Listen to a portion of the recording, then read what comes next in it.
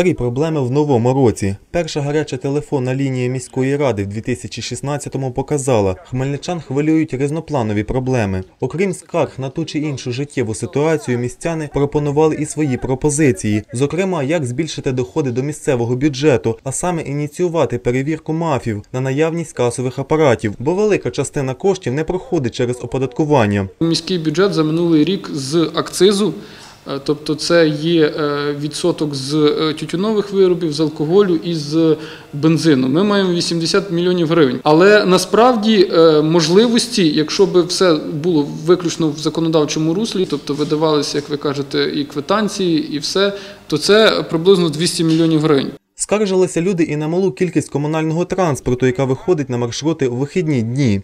Я в воскресенье полчаса мы стояли 22 человека, и мы считали специально тролле... а, маршрутки. 28 маршруток мы насчитали. Дорогой мой товарищ, это разве возможно? И мы ни одной семерки не было. За словами заступника міського голови, посадовці вже переймають досвід роботи електротрансів із інших міст. Це стосується і графіків руху, і видачі квітків за проїзд.